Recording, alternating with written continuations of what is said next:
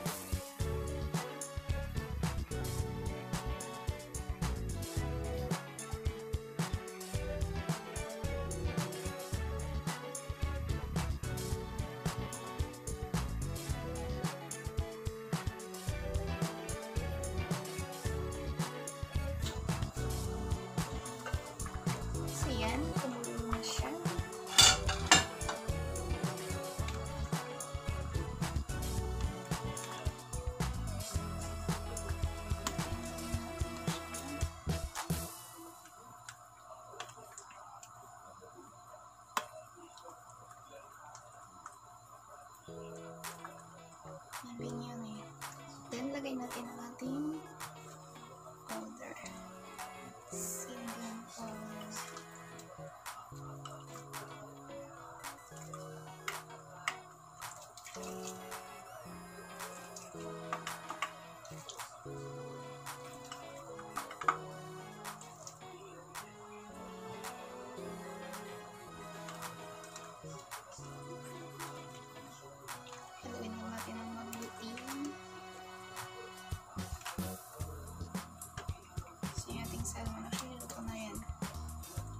del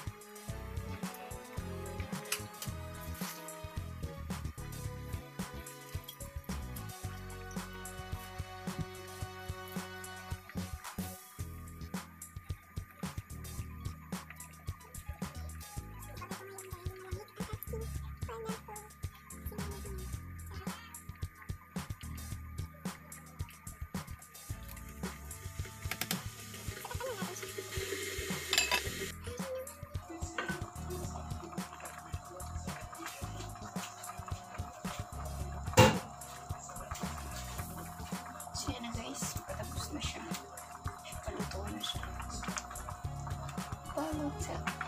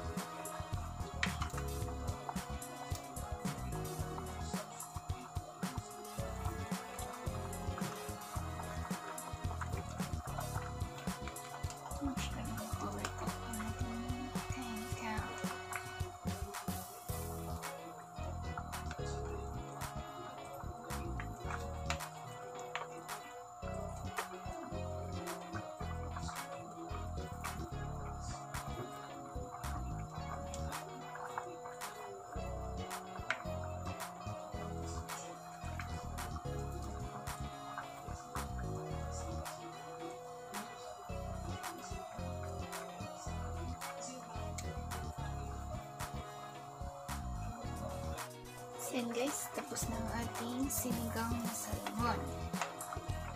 That's it. Luto na siya.